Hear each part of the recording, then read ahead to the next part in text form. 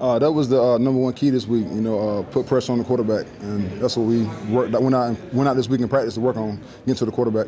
Um, you know, the turnovers, getting the turnovers that you guys were able to do today. I know you guys were looking for a day like that for a while. How good was that? To, Uh, it was it was it, it was great for the guys to you know get that and get see what it feels like to get them get those turnovers that we hadn't been getting.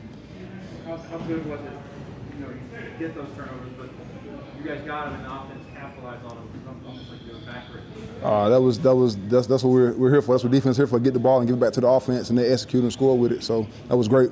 obviously, you guys came in banged up in the secondary, but they seem to do a nice job pulling their coverages, allowing you guys to, to get the pass rush home. How important was that?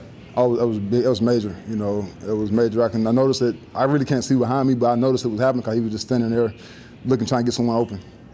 What's to say about the character of this team? You, know, you guys had such a big emotional win Monday night. You come back in the short week and play another good team and, and dominate them like you did today. Uh, that was just one of the keys. Just you know, prove them. Uh, not prove them, but um, just just got to validate it. You know what I mean? Showing who we are and what we're about. Nick, I'm sorry if you've already been asked about this, but how much how much does a performance like this mean for you when it's not just you being able to show out, or it's not just Harold being able to show out, but you guys get consistent pressure across the board? Oh, it's major. It's major. Just showing that everybody can rush from all four spots. When something like this happens, is, is this kind of how you envisioned it when you came to Tennessee and knew what kind of people you'd be working with and playing with? Uh, somewhat, you know, I just know it was a great team. I just wanted to come and help be a part of that. How much how much does the coaching staff kind of? I mean, we've seen videos obviously of Mike Reynolds being appreciative of the impact that you make throughout the course of the game. How much does it help you to know that you have